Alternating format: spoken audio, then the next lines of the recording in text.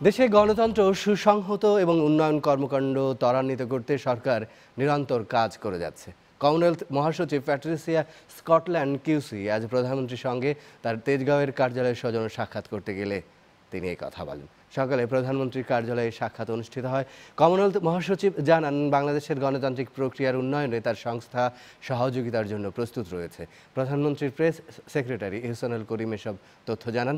শেখ হাসিনা বলেন, দেশে বিগত সাড়ে নয় বছরে উপনির্বাচন সহ স্থানীয় সরকারের বিভিন্ন পর্যায়ে ছয় হাজারেরও বেশি নির্বাচন অবাধ, সুষ্ঠু এবং নিরপেক্ষভাবে সম্পন্ন হয়েছে।